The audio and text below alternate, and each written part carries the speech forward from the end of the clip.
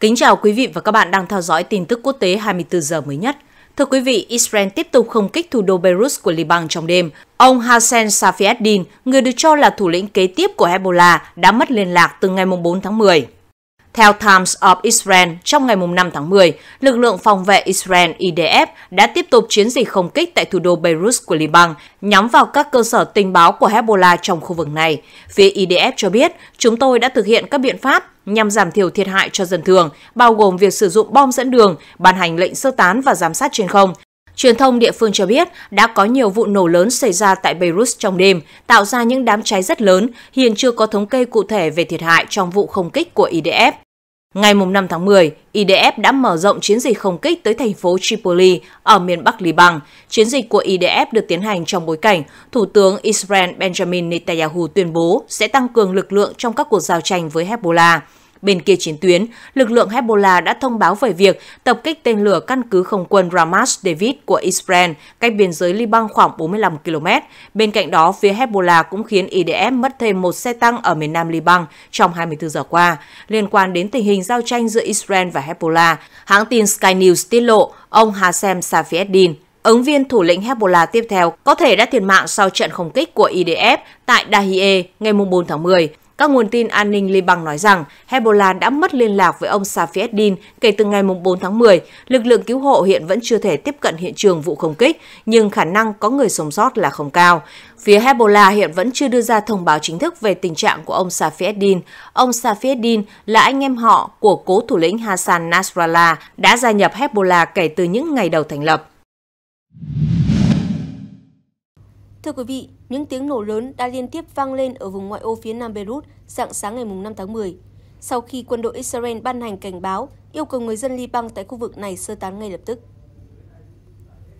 Có ít nhất một vụ nổ được báo cáo và người dân đã phát hiện khói bốc lên ở vùng ngoại ô phía nam Beirut dạng sáng ngày 5 tháng 10, sau khi quân đội Israel ban hành hai cảnh báo sơ tán tại thủ đô Liban. Trong đó, cảnh báo đầu tiên nhắm tới khu phố Buri al-Baranei và cảnh báo thứ hai quận Chuefat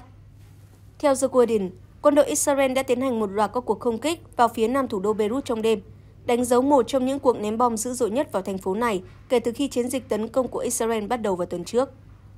Một nguồn tin thân cận với Hezbollah tiết lộ rằng Israel đã tiến hành 11 cuộc không kích liên tiếp vào thành trì của nhóm này tại thủ đô Liban. Theo các báo cáo, nhân vật cấp cao của Hezbollah, Hashem Zafridin, là mục tiêu của các cuộc không kích. Bên cạnh các khu vực ở thủ đô Liban, quân đội Israel cũng ra lệnh cho người dân ở 20 thị trấn phía nam khác ở Liban phải sơ tán ngay lập tức trong khi mở rộng chiến dịch tấn công. Trước đó, phía Liban tuyên bố một cuộc không kích của Israel trong ngày 4 tháng 10 đã cắt đứt tuyến đường quốc tế chính nối giữa hai nước này với Syria. Hàng thông tấn quốc gia Liban cũng đưa tin rằng máy bay chiến đấu của Israel đã tấn công khu vực Masna, tên gọi của cửa khẩu, và cắt đứt tuyến đường. Chính phủ Liban hôm 4 tháng 10 xác nhận hơn 2.000 người đã thiệt mạng và 9.535 người bị thương tại Liban trong gần một năm giao tranh giữa Israel và Hezbollah. Hầu hết số nạn nhân thiệt mạng trong hai tuần qua khi giao tranh xuyên biên giới chuyển thành một cuộc tấn công rộng khắp của Israel. Ít nhất 4 bệnh viện ở Liban đã thông báo tạm dừng hoạt động, trong bối cảnh Israel vẫn đang ném bom. Thủ tướng Liban Nabi Mikati đã kêu gọi cộng đồng quốc tế gây sức ép với Israel để các đội cứu hộ có thể tiếp cận các địa điểm bị ném bom và cho phép họ di chuyển những người bị thương. Người phát ngôn của Liên Hợp Quốc Stephanie Dujarric trong một tuyên bố cho biết, việc dân thường thiệt mạng tại Liban do chiến dịch chống lại Hezbollah mà Israel thực hiện là hoàn toàn không thể chấp nhận được, đồng thời kêu gọi tất cả các bên bảo vệ dân thường và cơ sở hạ tầng dân sự. Trong khi đó, Bộ Ngoại giao Mỹ tuyên bố nước này sẽ cung cấp gần 157 triệu đô la Mỹ viện trợ nhân đạo mới để hỗ trợ người dân bị ảnh hưởng bởi xung đột ở Liban và khu vực. Theo thống kê của chính phủ Liban, hơn 300.000 người, trong đó phần lớn là người Syria, đã vượt biên giới từ Liban và Syria trong 10 ngày qua để tránh các cuộc tấn công leo thang của Israel. Thưa quý vị, ngày 3 tháng 10, Tổng thống Joe Biden cho biết Mỹ đang thảo luận về việc Israel nhắm vào các cơ sở dầu mỏ của Iran để trả đũa cuộc tấn công tên lửa của Tehran đối với Israel tối ngày 1 tháng 10. Điều này đã góp phần đẩy giá dầu thế giới tiếp tục tăng lên.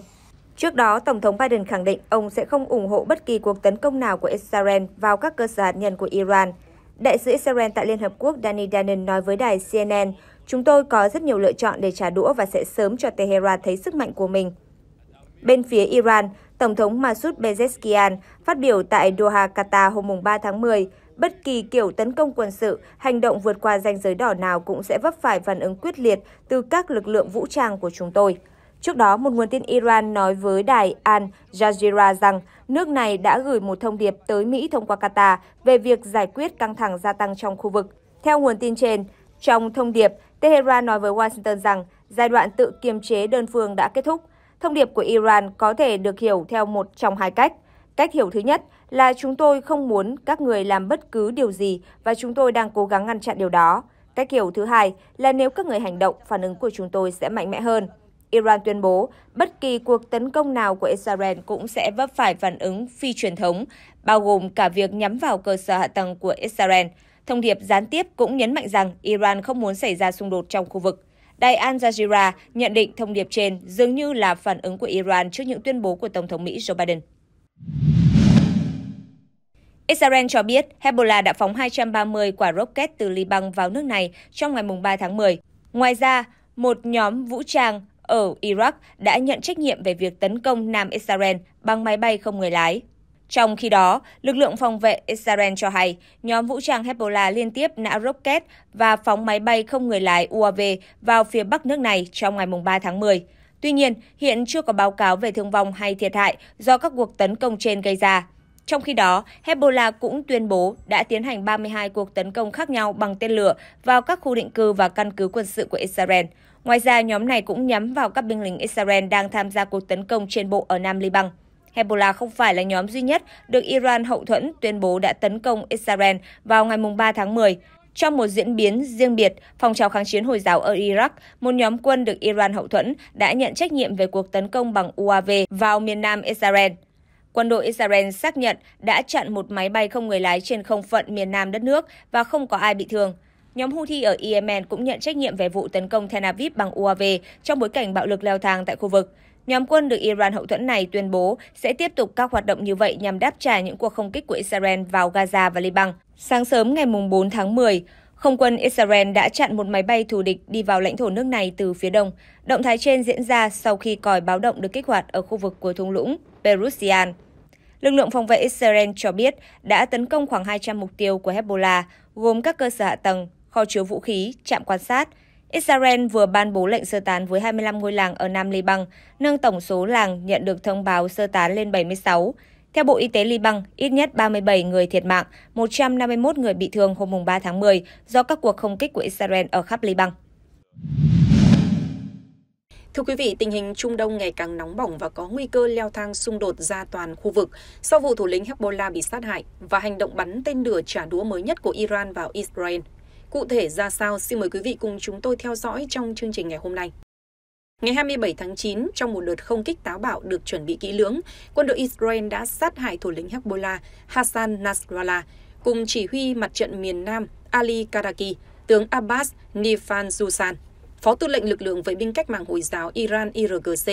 ba thủ lĩnh của mặt trận nhân dân giải phóng Palestine và nhiều chỉ huy cấp cao khác của Hezbollah khi họ đang tập hợp trong một bong ke sâu 18 mét nằm dưới các tòa nhà ở Dahiyeh, khu dân cư đông đúc ở miền nam Beirut, thủ đô Liban. Theo Bộ Y tế Liban, cuộc không kích trên đã khiến ít nhất 14 người thiệt mạng và làm bị thương 66 người. Dù vậy đây cũng chỉ là một đòn đánh của Israel trong cả một chiến dịch làm suy yếu Hezbollah trong suốt một năm qua, khi phong trào kháng chiến chống Israel mạnh nhất này quyết định đẩy mạnh các hoạt động quân sự chia lửa với Hamas trong cuộc đối đầu Hamas-Israel ở giải Gaza. Hơn 1.000 người, hầu hết là chiến binh Hezbollah đã thiệt mạng, trong đó có nhiều chỉ huy cấp cao. Bên cạnh đó, cơ sở hạ tầng quân sự của Hezbollah ở phía nam sông Litani đã bị phá hủy, cùng với một lượng lớn kho vũ khí và cơ sở hạ tầng quân sự ở miền nam Liban. Thủ tướng Israel Benjamin Netanyahu đã mô tả vụ ông Hassan Nasrallah là một bước ngoặt lịch sử có thể thay đổi cán cân quyền lực ở Trung Đông. Ngược lại, không chỉ Hezbollah và các phong trào kháng chiến chống Israel tuyên bố quyết trả thù cho thủ lĩnh Hassan Nasrallah, Phó Tổng thống Iran Mohammad Reza Aref đã cảnh báo sự ra đi của ông Nasrallah sẽ mang đến sự hủy diệt cho Israel. Trong khi lãnh tụ tối cao Ali Khamenei chỉ trích vụ hạ sát thủ lĩnh Nasrallah là chính sách thiển cận của Israel và kêu gọi các nhóm Hồi giáo tiếp tục sát cánh cùng người dân Liban nói chung và phong trào Hezbollah nói riêng trong cuộc đấu tranh chống Israel hiện nay. Chỉ trong vòng vài tuần qua đã có ít nhất 30 thủ lĩnh cấp cao của Hezbollah bị hạ gục, một tổn thất lớn chưa từng có đối với phong trào này kể từ sau cuộc chiến Liban lần thứ hai vào năm 2006 đến nay. Không chỉ vậy, nhiều nhà phân tích còn chỉ ra rằng Hezbollah không chỉ mất nhiều nhà lãnh đạo cấp cao, cơ sở hạ tầng quân sự và vũ khí, mà còn đánh mất cả an ninh, cảm giác an toàn và lòng tin trong nội bộ phong trào này. Bởi sau mỗi vụ ám sát hoặc tấn công như Israel tiến hành gần đây, đặc biệt là các vụ nổ hàng loạt máy nhắn tin và bộ đàm, Hezbollah đang đau đầu với vấn đề xác định mức độ các đặc vụ tình báo Israel đã xâm nhập sâu vào hàng ngũ của mình đến mức nào. Thậm chí, tạp chí Foreign Policy trích dẫn nguồn tin thân cận với Hezbollah hé lộ rằng các nhà lãnh đạo Hezbollah đang phải xem xét từng thiết bị điện tử của mình bởi lo ngại rằng xe hơi, xe máy và cả các nhà máy tên lửa tiên tiến của phong trào kháng chiến này đều đã bị gài bẫy và có thể phát nổ bất cứ lúc nào. Trong khi Israel đang bị các phe phái trong trục kháng chiến, gồm liên minh các nhóm quân sự do Iran hậu thuẫn suốt hơn 40 năm qua, trong đó có Hamas, Hezbollah, Houthi, để đối phó với Israel và Mỹ tại Trung Đông. Iran và cộng đồng thế giới đồng loạt lên án Ngày 28 tháng 9 tại Diễn đàn Liên Hợp Quốc, Thủ tướng Netanyahu vẫn tuyên bố đã thanh toán được món nợ với thủ phạm của vô số vụ sát hại người Israel cùng hàng trăm người Mỹ, hàng chục người Pháp. Ngụ ý nhắc đến các vụ khủng bố tại Beirut vào năm 1983. Về phía Mỹ, Tổng thống Mỹ Joe Biden nói, Israel có quyền tự vệ khi quy cho ông Hassan Nasrallah chịu trách nhiệm về vụ sát hại hàng trăm người Mỹ và Israel – còn Nhà Trắng khẳng định hoàn toàn ủng hộ Israel trong việc tự vệ trước Hezbollah, Hamas, Houthi và bất kỳ nhóm khủng bố nào được Iran hỗ trợ.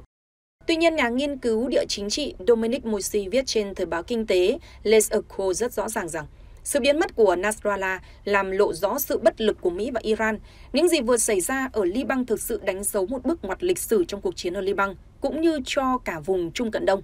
Phía Israel đã săn lùng ông Hassan Nasrallah suốt từ năm 1992 khi ông trở thành thủ lĩnh Hezbollah.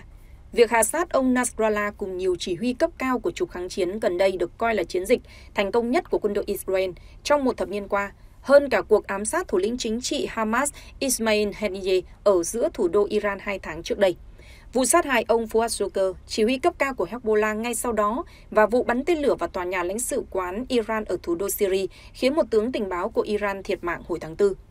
Không dừng lại ở đó, hôm 1 tháng 10, quân đội Israel đã chính thức triển khai chiến dịch tấn công trên bộ nhằm vào các mục tiêu của Hezbollah ở phía nam Liban, như một cú nước rút sấm sét quyết dồn Hezbollah tới chân tường như đã làm với Hamas từ sau vụ tập kích của nhóm này vào trong lãnh thổ Israel ngày 7 tháng 10 năm 2023. Đây cũng là hoạt động trên bộ đầu tiên của Israel chống lại Hezbollah kể từ năm 2006, đánh dấu sự mở rộng mới nhất của cuộc xung đột đã bao trùm khu vực kể từ khi xung đột Israel-Hamas bùng phát vào tháng 10 năm ngoái. Trục kháng chiến có bị khuất phục Cuộc không kích ngày 27 tháng 9 đã gây cho Hezbollah những tổn thất lớn chưa từng có về nhiều mặt, bởi không chỉ khiến thủ lĩnh cấp cao bị sát hại, mà còn buộc những thủ lĩnh còn lại cũng phải ẩn náu và thay đổi cách thức hoạt động, lãnh đạo, chỉ huy. Điều đó chắc chắn sẽ ảnh hưởng không nhỏ ít nhất là trong ngắn hạn đến sức mạnh và hoạt động của Hezbollah, cũng như tình hình chung ở Liban và cộng đồng người Hồi giáo dòng Shia khi hàng nghìn người đã thiệt mạng, hàng trăm nghìn người phải rời bỏ nhà cửa, cũng như đến tương quan lực lượng giữa các bên và nhất là quan hệ giữa Hezbollah với Iran, nước bảo trợ tối cao của phong trào kháng chiến chống Israel hùng mạnh nhất này. Theo giới quan sát quốc tế, sự kiện ngày 27 tháng 9 đã đặt Iran vào tình thế tiến thoái lưỡng nan rất phức tạp. Bởi nếu không làm gì sau những tuyên bố hùng hồn thề trả đũa cho đồng minh và những sĩ quan của mình bị Israel hạ sát thời gian gần đây, có thể sẽ khiến các lực lượng trục kháng chiến cảm thấy dường như Tehran đã phó mặc các đồng minh cho số phận của chính họ để ưu tiên cứu lấy chính quyền trước một cuộc chiến cam go chống Israel được Mỹ và đồng minh phương Tây chống lưng toàn diện. Nếu duy trì thái độ này, mối quan hệ về hệ tư tưởng, quân sự và tài chính của Iran với các đồng minh ở Trung Đông, trước hết là chủ kháng chiến mà Iran đã dày công gây dựng, có nguy cơ bị tổn thương không thể khắc phục được. Dù trước mắt đang vô cùng khó khăn, Hezbollah chắc chắn sẽ tìm mọi cách khắc phục khoảng trống do sự ra đi của thủ lĩnh Nasrallah để lại để tiếp tục các hoạt động quân sự chống lại Israel. Bởi ngoài quyết tâm chính trị và sự thù ghét đối với Israel, hệ thống các kho vũ khí hiện đại và đội quân lên tới cả trăm nghìn người của Hezbollah hầu như vẫn còn ở mọi nơi. Đặc biệt là cách tổ chức hết sức đặc thù theo tuyến lớp riêng biệt độc lập sẽ giúp Hezbollah lúc này, cũng giống như trong quá khứ, từng nhiều lần bị tấn công tưởng chừng như không phục hồi được. Như gần nhất là trong cuộc chiến ở Nam Liban vào năm 2006, rồi đều đã vượt qua và trở lại mạnh mẽ hơn. Ngay sau vụ sát hại thủ lĩnh Nasrallah, Hezbollah đã bắn nhiều loạt tên lửa vào các mục tiêu bên trong Israel. Không chỉ vậy, các lực lượng khác trong trục kháng chiến, trước hết là Houthi ở Nam Yemen, không chỉ vẫn nhắm bắn các tàu chở hàng cho Israel và Mỹ đang đi trên Biển Đỏ, mà còn bắn hàng loạt tên lửa vào sân bay quốc tế Ben Gurion ở Tel Aviv khi chuyên cơ chở Thủ tướng Israel từ New York về nước sắp hạ cánh. Ở chiều ngược lại, quân đội Israel cũng vẫn không ngừng tấn công dữ dội các mục tiêu ở thủ đô Beirut và khu vực miền nam Liban.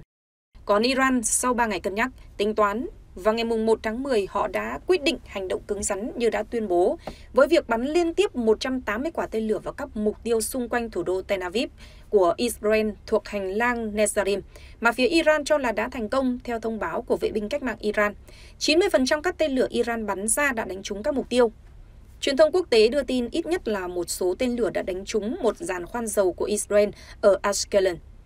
Lịch sử đối đầu Israel-Palestine nói riêng và Israel-Ả Rập nói chung suốt từ khi có nhà nước Israel từ năm 1948 đến nay, nhất là từ sau cuộc chiến 6 ngày vào năm 1967 cho thấy,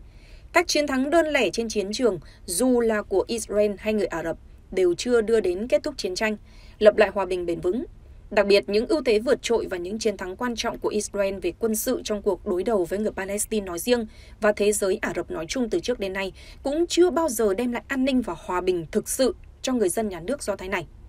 Trong khi đó, dưới sức ép của Israel, người Palestine cũng như các phong trào kháng chiến khác ở khu vực chưa bao giờ đầu hàng và buông xuôi số phận trước Israel. Ngược lại, họ vẫn kiên cường chiến đấu cho mục tiêu giải phóng dân tộc mình. Ngăn xung đột lan rộng ra cả khu vực Trung Đông. Với ưu thế vượt trội về vũ khí và khả năng tình báo, từ sau cuộc đột kích của Hamas vào Israel ngày 7 tháng 10 năm 2023, với cớ trả đũa, Israel đã liên tiếp giành được những thắng lợi rất quan trọng với việc hạ gục hàng loạt thủ lĩnh hàng đầu và làm suy yếu đáng kể cả hai phong trào kháng chiến hùng mạnh nhất là Hamas và Hezbollah.